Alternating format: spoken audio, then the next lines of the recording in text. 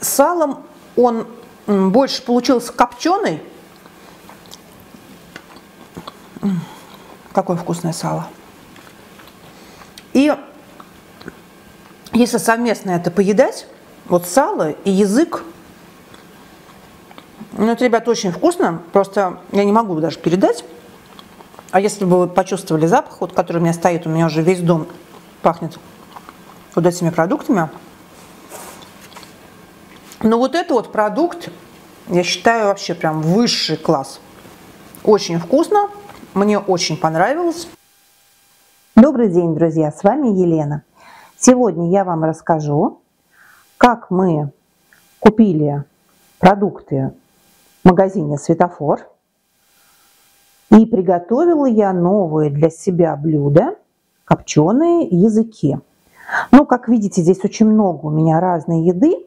Я ролики делала уже неоднократно. Сегодня вкратце расскажу, как все остальное я готовила. А подробно мы остановимся на языках, потому что скоро праздники, и язык является у нас самым лучшим новогодним блюдом, на мой взгляд. Считается магазин «Светофор» дешевым магазином, и там продукты стоят на 30-40% дешевле, чем в других магазинах. Мы решили купить эти продукты и приготовить их именно таким образом. Ребра. Вот посмотрите, такие вот ребра. Сделала я варено-копченые. Цена в светофоре 100 рублей. Мы купили 4 килограмма вот этих ребер. Ну, конечно, здесь вот есть позвоночник, для сравнения, в других магазинах ребра стоят около 400 рублей. Сейчас стал это не дешевый деликатес. Но мне нравятся вареные копченые ребра. Я делаю много блюд, гороховые супы, там тушу капусту. В общем, очень много у меня тоже всяких роликов. Вот посмотрите, э, какие ребра и как они у нас вот получились. Дальше вкратце расскажу рецепт. Дальше купили мы языки. Взяли мы языки свиные. Вот копченый язычок у нас получился. И второй рецепт мы делали шпики. Тоже коптили, солили. В общем, тоже я делала разные рецепты. Сегодня расскажу обо всех рецептах. Попробую и расскажу вам, какой мне больше понравился. Языки э, готовые в магазине стоят 200 килограмм. Говяжьи на рынке 1000. В светофоре они по 300 рублей. Поэтому мы тоже взяли 4 килограмма этих языков. И вот у нас получилась такая гора вкуснятины. А, шпик мы брали на рынке по 300 рублей за килограмм. Вот такой шпик. Тоже посолила, закоптила. Мягкое очень сало, прекрасное. Вот. И коптила я еще куриные окорочка, делаю салаты на Новый год. Поэтому очень нравится мне куриная окорочка. В общем, вот эта вот вся гора вкуснятины, 4 килограмма, 4 килограмма, 4 килограмма и курица на 3000 рублей. Вот эту гору можно есть, я думаю, очень долго времени. Ну, теперь к процессу приготовления. А, как мы делаем языки? Языки я готовила разными способами. Делала сувид, варила, делала просто коптили и заворачивала шпик. Что нужно первым делом сделать? Языки мы купили там замороженные. Э, в одной упаковочке два свернутых язычка. Мы их кладем в воду, они размораживаются, и потом эту воду сливаем. Меняла, меняла воду. В общем, они у меня отмокли.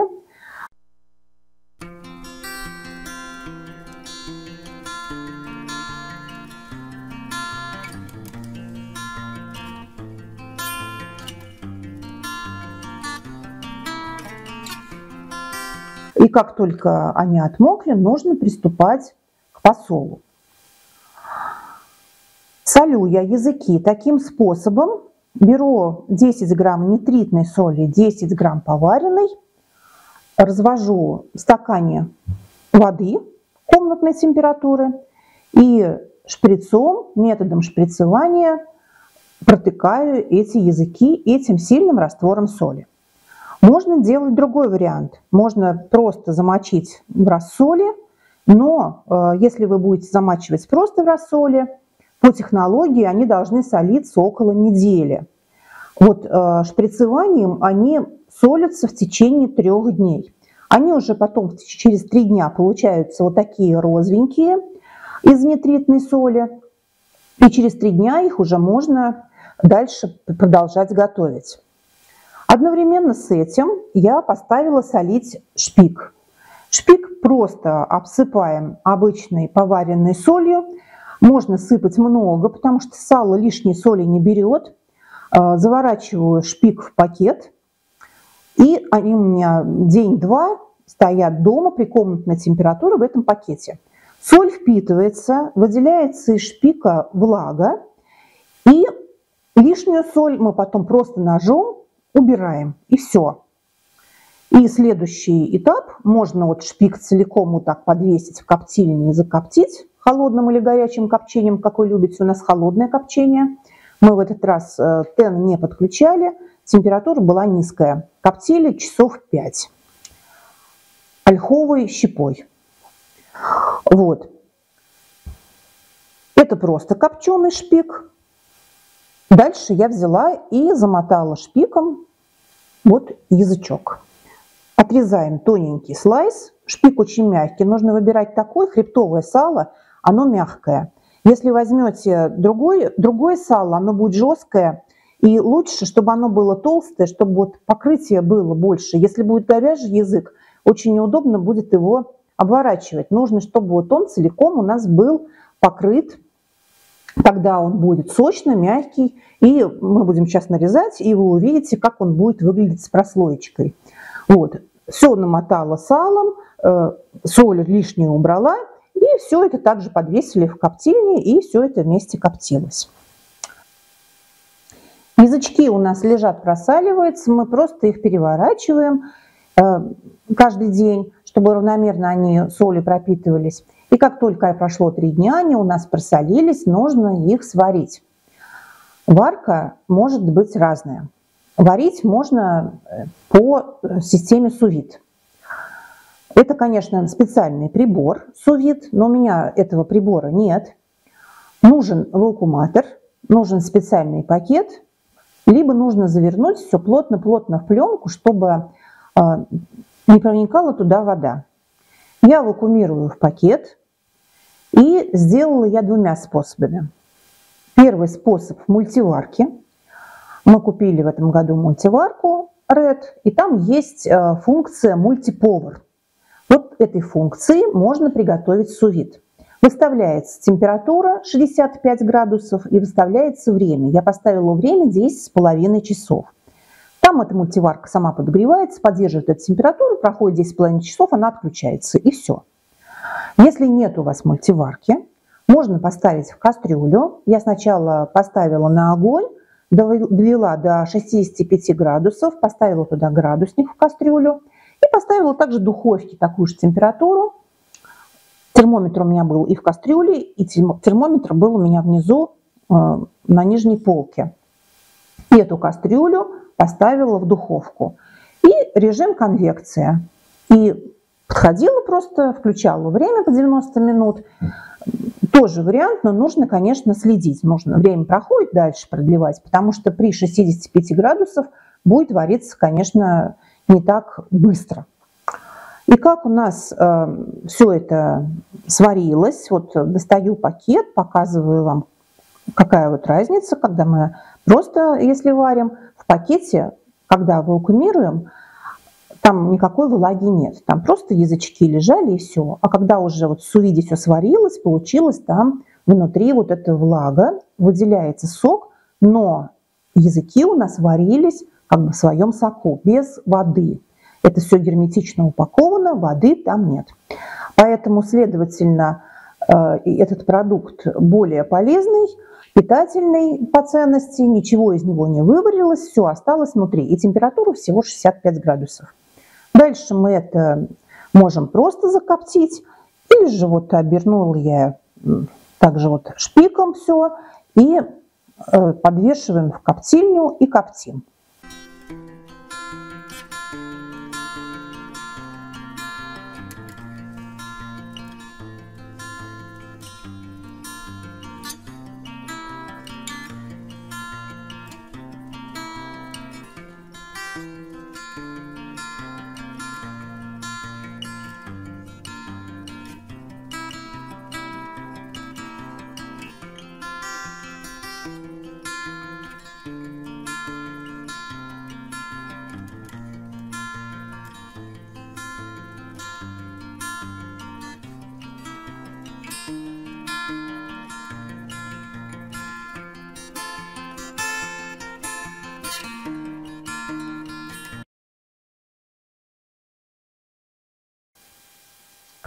Еще один способ приготовления, не хотите вы так долго варить в сувиде, можно сначала, не засаливая языки, просто сварить их в воде, как мы варим обычно языки на новогодний или там какой стол. Мы ставим, это вот у меня вот друг, другой рецепт, вот я специально их отдельно вот положила, чтобы попробовать, какой будет язык вкуснее. Кладем в холодную воду, солим. Ну, соли надо добавить побольше, обычный поваренный, чтобы раствор был такой соленоватый. Не, не мало соленый, а такой все-таки соленоватый. Где-то 2-3 столовых ложки на кастрюлю. И кладем туда перчик, корень сельдерея, корень петрушки, лавровый лист. Все это морковка, лучок, ну, как обычно вот варят языки. И ставим варить на медленный огонь. Свиные языки готовятся где-то час-полтора по времени. Они сварились, вытаскиваем их из кастрюли.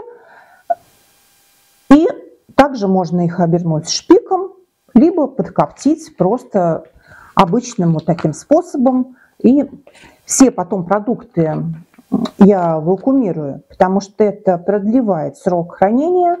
Сделала я много, мы столько быстро не съедим, а вот в таком виде в холодильнике будет лежать долго, месяца два и больше.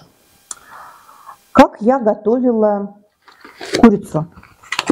Курицу тоже я а, методом шприцевания накачивала таким же раствором, 10 грамм нитритки, 10 грамм поваренной. Можно не добавлять в курицу нитритка, потому что нитритку надо добавлять в свинину. В курицу можно обычную соль. И если делать с нитриткой, это продлевает срок хранения продукта. Обычная соль надо съесть раньше. Также пролежали три дня, потом э, в духовку, на конвекцию. Варка у нас идет. Варка при температуре 75-80 градусов. Ставим вниз поддон с водой. И курица, окорочка, грудки, что вы будете готовить, без разницы, лежит у нас просто на решетке. Вставляем термометр в мясо, и когда температура достигает 70 градусов, вынимаем наши окорочка – курицу и также несем в коптилку и коптим. Про курицу рассказала, теперь остались у нас ребра. Ребра немножечко по-другому солятся. Э, берем также 10 грамм нитритки к 10 грамм поваренной. Мне вот эта пропорция по соли нравится больше всего, потому что получается не пересоленный продукт. По 10 грамм того и другого вполне нормально. И просто мы берем эти ребра и обмазываем солью. Все, мы их обмазали хорошо, чтобы вот прям все было равномерно. И убираем в прохладное место. Сейчас на улице прохладно, ночью был уже 1-2 градуса. Вот так солились они у меня тоже трое суток. Лоточек я поставила, накрыла его. И три дня у меня вот просто в соли вот они лежали. Я тоже так переворачивала каждый день. И потом, как окорочка, ставим в духовку, конвекция, вниз поддон с водой, термометр. В общем, такой же принцип, как у курицы. Сначала варим, потом в коптильню относим и коптим. Все коптили мы холодным дымом 5 э, часов. Вот. Теперь приступим к пробе. И я хочу вам разные способы рассказать по языкам, потому что Курицу, ребра я уже делала, у меня много рецептов на канале. Получается очень вкусно, поверьте мне. А языки мы сейчас попробуем, потому что для меня это вообще новое блюдо, которое я никогда не готовила. Это вот э, язычок у нас сувит, просто вареный в и копченый. Вот обратите внимание, какой у него вот яркий цвет. Очень он мягкий, сочный получился. И видите, какой красивый. Не скажешь, что это свиной язык, очень похож на говяжий. Сейчас посмотрим, что у нас тут с салом. Вот какой у нас получается вот разрез с салом.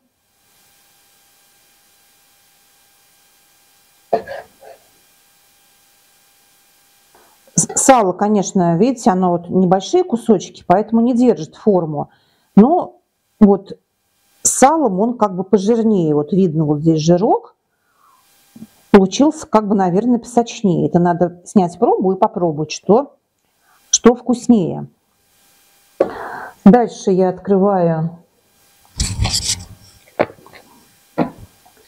язычки, которые были вареные. Просто в бульоне, не сувид. Открываем пакетик. Вот он вареный в обычный, не нитритка, а обычная поваренная соль. И мы сейчас посмотрим, есть ли разница. Вот по цвету посмотрите. По цвету вот язычок, который с нитриткой наполовину, это вот обычная соль. Поэтому вот по цвету он уже совершенно другой. По вкусу я вам скажу. И этот вот вареный в рассоле в обычном, только с салом.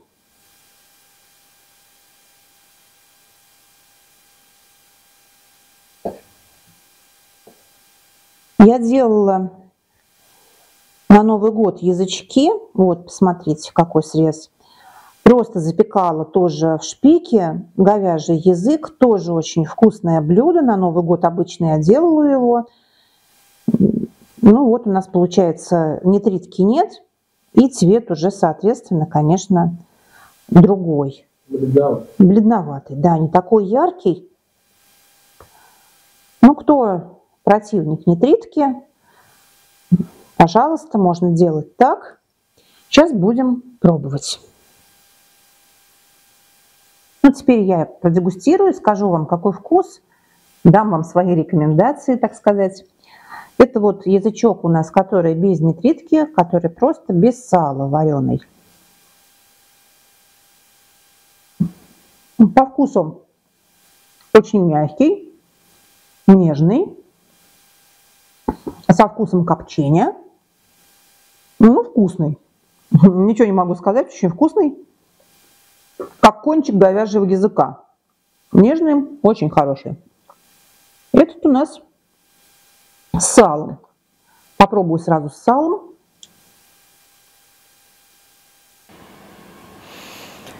С салом вкуснее. Больше аромата и немножечко как бы жирность еще, наверное, придает. И вкус совсем другой. Теперь попробую язык, который варился сувид без сала.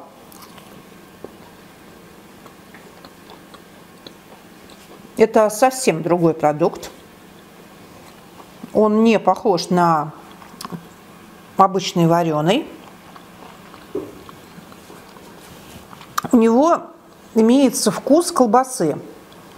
Возможно, это из-за нитритки, потому что когда мы добавляем нитритку, и у нас идет три дня созревания, продукт приобретает именно вот насыщенный вкус, нежели чем когда мы просто варим его. Он очень тоже мягкий, нежный, более сочный и вот похож на какую-то колбасу. Не, даже не могу сказать какую, но... Языковую. Да. Очень вкусно, ребят, мне очень понравилось.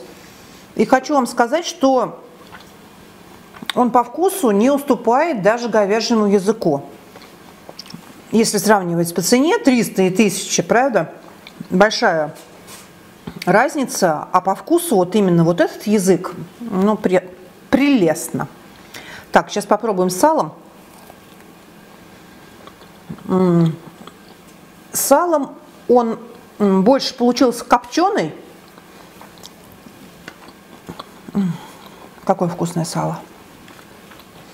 И если совместно это поедать, вот сало и язык, ну это, ребят, очень вкусно, просто я не могу даже передать. А если бы вы почувствовали запах, вот, который у меня стоит, у меня уже весь дом пахнет вот этими продуктами. Но вот это вот продукт, я считаю, вообще прям высший класс. Очень вкусно, мне очень понравилось. Я это готовлю первый раз. Получилось вообще отлично. Ну и что могу вам сказать? Опять мы вернемся к светофору. За 300 рублей языки. Вот в таком исполнении просто супер. И вот ребра, да, 100 рублей, я вам и говорила, что 100 рублей они. Просто вам покажу, как, какой у них срез. Вот у нас ребра варено-копченые за 100 рублей.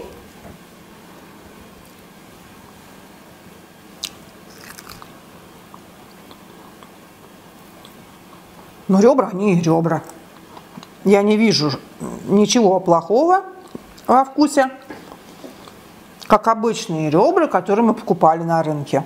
Ну, никакой абсолютно разницы. Только эти 100 рублей, а на рынке по 400. Вот и все. Поэтому можно покупать мясные продукты.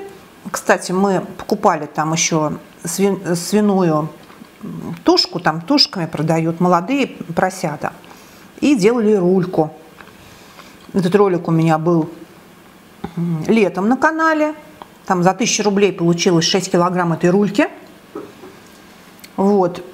Тоже великолепно. Очень понравилось. Очень вкусно.